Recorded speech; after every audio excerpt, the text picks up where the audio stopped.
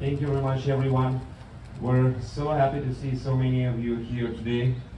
So many citizens of Sonoma who have just spent their time to come and express their support for Ukraine. I wanted to be here to greet you on behalf of all the Ukrainian people, the freedom-loving people who for years have been resisting Russia, and those who give their best sons and daughters to stop this full-scale Russian invasion. It is today is the 22nd day of this war. Time passes very quickly. That Russia started against Ukraine, an unprovoked and senseless war. And now we say that division line between good and evil lies whereas the trenches are between the Russian invaders and Ukrainian defenders.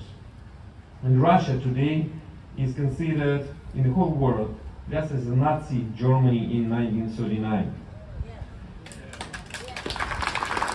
And I hope very soon, very soon we will be able to come to Sonoma with our delegation from Kaniv, from our sister city, to discuss peaceful cooperation, economical, cultural, wherever, because this uh, war will be stopped and Ukraine will win.